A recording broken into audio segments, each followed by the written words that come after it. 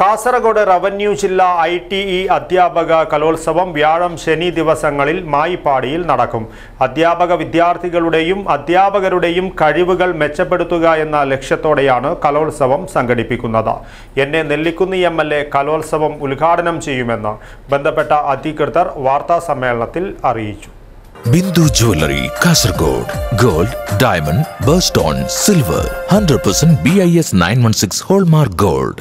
അപ്പോൾ ഈ വർഷത്തെ കാസർഗോഡ് റവന്യൂ ജില്ലാ കലോത്സവം ടി ടി ഐ കലോത്സവം പതിനേഴ് പത്തൊമ്പത് തീയതികളിലായി കാസർഗോഡിലെ ഡയറ്റ് മായ്പാടി കാസർഗോഡ് ഡയറ്റ് എട്ട് മായ്പാടിയിൽ നടക്കും. അപ്പോൾ അതിന്റെ മുന്നൊരുക്കങ്ങളൊക്കെ കഴിഞ്ഞു. പത്താം തീയതി സംഘാടക സമിതി രൂപീകരിച്ചു.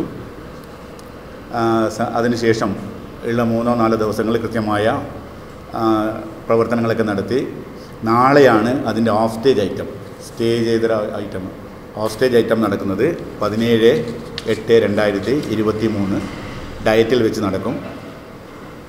ആ സ്റ്റേജ് സ്റ്റേ ഹോസ്റ്റേജ് സ്റ്റേജ് ഐറ്റംസൊക്കെ സ്റ്റേറ്റ് തലത്തിൽ ഒറ്റ ദിവസം നടക്കുന്നതാണ്. അത് ഒരേ ദിവസം ഒരേ തീം വെച്ചുകൊണ്ട് രാവിലെ അതിന്റെ ചോദ്യ പേപ്പറൊക്കെ കിട്ടും. അത് വെച്ചുകൊണ്ട് ഹോസ്റ്റേജ് ഐറ്റം നടക്കും.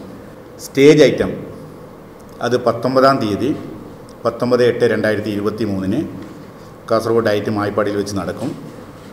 അതിന്റെ ഉദ്ഘാടന ചടങ്ങ് പതാക ഉയർത്തലാണ് രാവിലെ ഒമ്പതരക്ക്. അത് ഡെപ്യൂട്ടി ഡയറക്ടർ ഓഫ് എഡ്യൂക്കേഷൻ നടത്തും. അതുപോലെ തന്നെ ഉദ്ഘാടന ചടങ്ങ് ഉദ്ഘാടനം ചെയ്യുന്നത് ബഹുമാനപ്പെട്ട Kasaragod M L A N A സാറാണ്.